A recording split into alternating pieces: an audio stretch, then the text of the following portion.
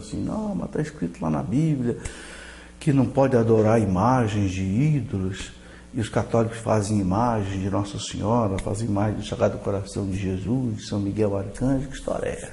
Bem, é preciso explicar, em primeiro lugar, que a igreja estudou profundamente essa questão de imagens. A igreja chegou a realizar um concílio, o segundo concílio de Niceia, que era uma cidade perto de Constantinopla, no ano de 787. Veja, há 1200 anos atrás, onde a igreja confirmou num concílio ecumênico que é lícito, é necessário, é bom usar as imagens. Eu quero ler para você, inclusive, o que está aqui no Catecismo da Igreja Católica sobre isso. Mas primeiro eu quero dizer o seguinte: que Deus nunca proibiu fazer imagens. O que Deus proíbe na Bíblia, no livro do Êxodo, é fazer imagem de ídolos. Tanto assim que Deus mandou que Moisés fizesse a imagem de dois anjos querubins e colocasse sobre a arca da aliança. A arca da aliança no Antigo Testamento é como para nós hoje o sacrário. Deus mandou que Moisés fizesse imagens. Deus mandou que lá no deserto Moisés fizesse a imagem daquela serpente enrolada numa haste, que é símbolo do Cristo ressuscitado, é uma prefiguração. Quem olha naquela imagem, lá no Antigo Testamento, ficava livre né, do veneno das serpentes que mordiam o povo. Símbolo do Cristo ressuscitado, que quem o aceita com fé experimenta a salvação.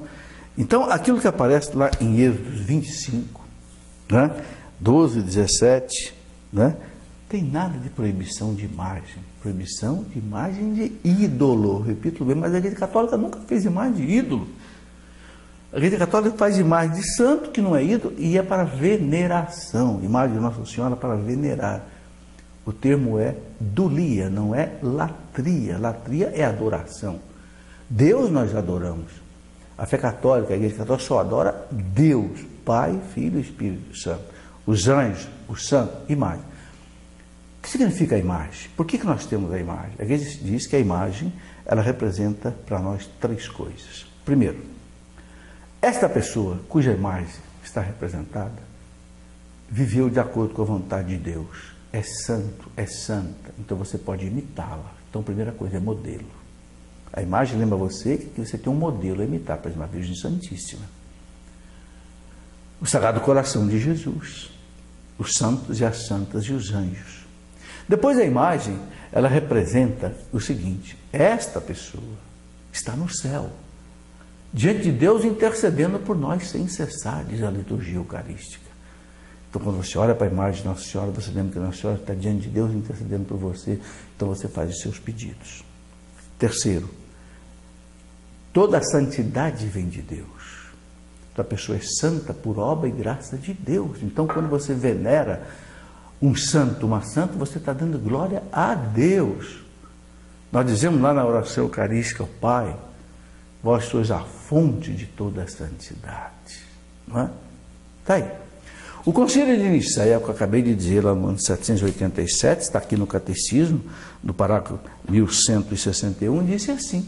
Veja, o Concílio de Nicéia, preste bem atenção, a igreja falando na trilha da doutrina divinamente inspirada pelo nosso, pelos nossos santos padres e, e da tradição da Igreja Católica, que sabemos ser a tradição do Espírito Santo que habita nela, definimos com toda certeza e acerto que as veneráveis e santas imagens, bem como as, as representações da cruz preciosa e vivificante, sejam elas pintadas de mosaico ou de qualquer outra matéria apropriada, devem ser colocadas nas santas igrejas de Deus.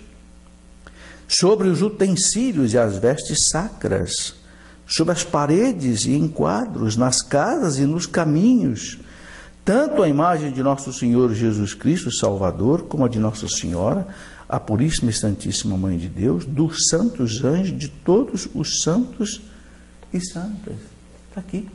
Isso a igreja definiu há 1200 anos no concílio de Nicéia.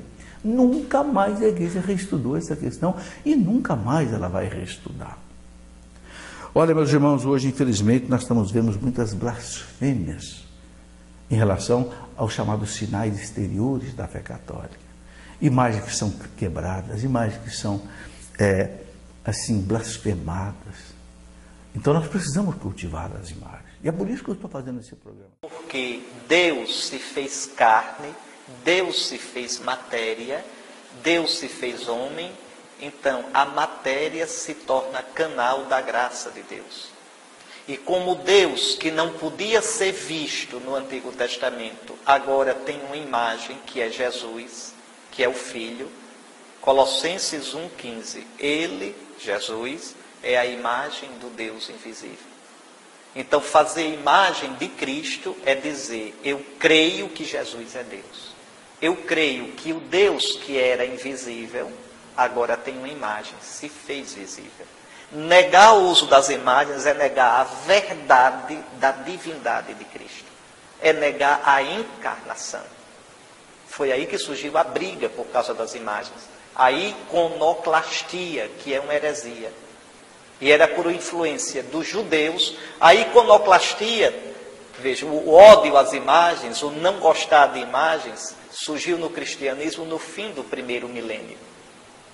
O primeiro milênio todinho não teve problema lá pelo século sétimo, oitavo, por influência dos muçulmanos que chegaram na região do Império Romano, regiões cristãs, por influência dos muçulmanos e dos judeus, alguns cristãos começaram a querer negar as imagens. Então, se você é muçulmano, se você é judeu, negue as imagens. Se você é cristão, não pode negar, não. Não pode negar, não. Então, as imagens de Cristo. E por que pode fazer imagem do Pai? Porque quem me vê, vê o Pai. E por que a imagem dos santos? Porque, como diz a Escritura, como outrora trouxemos a imagem do homem terrestre, agora em Cristo trazemos a imagem do homem celeste. A imagem de Cristo, que é a imagem do Pai. Então, veja, não é brincadeira. É uma questão teológica séria. Nós os católicos adoramos somente a Deus. Não adoramos ídolos, mas temos um grande respeito pelas imagens de Jesus, Maria, dos anjos e santos. Os evangélicos e outras seitas nos julgam e nos chamam de idólatras, mas somente Deus tem conhecimento e poder para nos julgar. Ele sabe o que passa no coração de cada pessoa. Ele sabe quem realmente o ama, e quem está sendo apenas hipócrita.